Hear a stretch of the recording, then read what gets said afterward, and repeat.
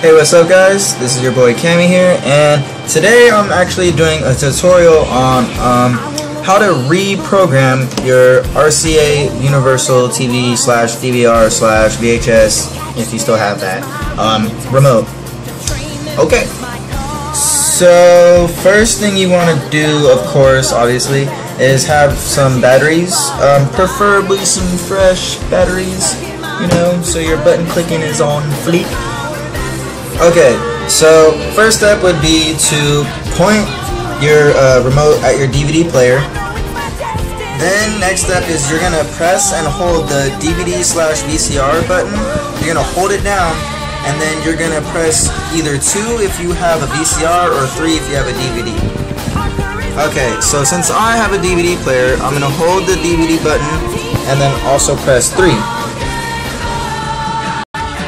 Okay, so now I'm actually going to demonstrate it on my DVD player. So, first step is to press and hold DVD button and then 3.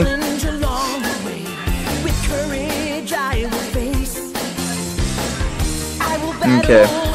Next step is DVD, VCR, and then power until it stays on. There we go. Next, you're going to press play every 5 seconds until your DVD player has turned off.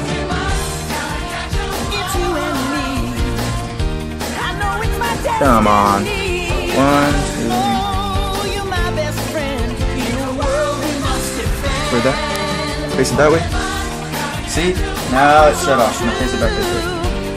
Okay, so now next step is to you're gonna press the reverse button every two seconds until it turns back on. When it turns on,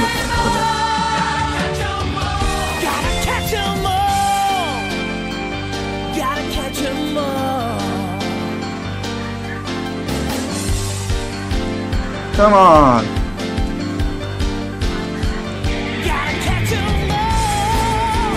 Oh my shit.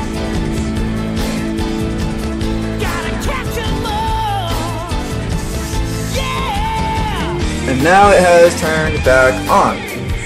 Okay, now what you're gonna do after that is press the stop button and then now it's programmed. Alright. Now everybody, it's my first tutorial on that, so bear with me. Alright guys, thank you.